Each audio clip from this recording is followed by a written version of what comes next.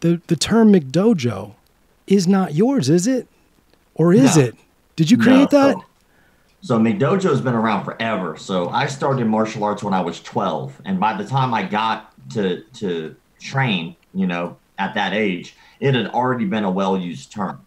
And you know, back in the day, um, it used to just kind of mean like belt factory. Like people would pay for their belts, like the old school McDonald's slogan was like million served" or something like that Yeah, daily. Um, and that's like kind of was the gag is that people were just paying for their belts.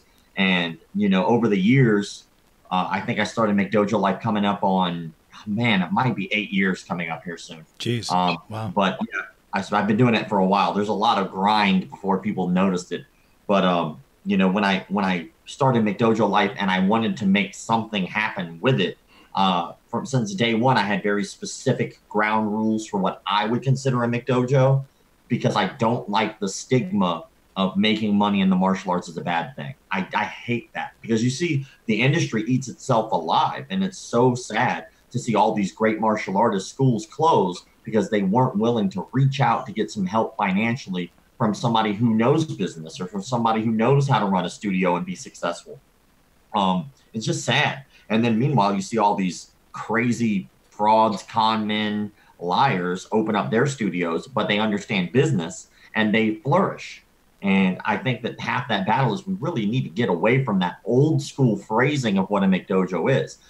If you want to train in kung fu or karate or aikido or any martial art, that's fine, as long as it's packaged correctly.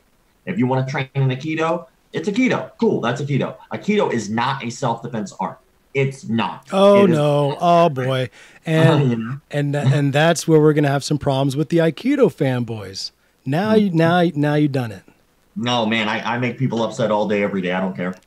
And these are my opinions, right? And that's the beauty of it. We have this open discourse in which we can truly discuss the ins and outs of martial arts. But at the end of the day, there is only one true reality, no matter what our particular truth is, right?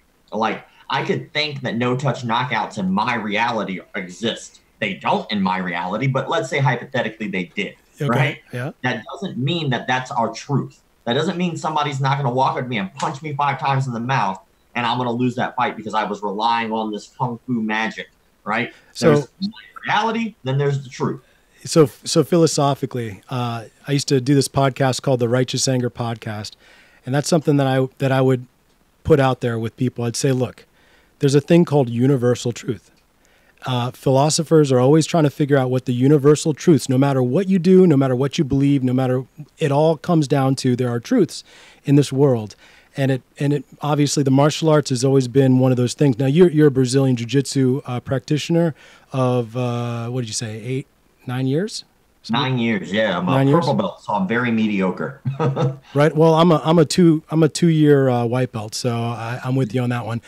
Uh, but you know, one thing about uh, Brazilian Jiu Jitsu and other martial arts is that you know the universal truth. If you let it, if you let martial arts do the thing that it's supposed to do, the universal truth will come out. And and and luckily for us in Brazilian Jiu Jitsu, the truth comes out on the mat when you roll. It just comes out. There's nothing you can do about it. Sorry, that's the truth.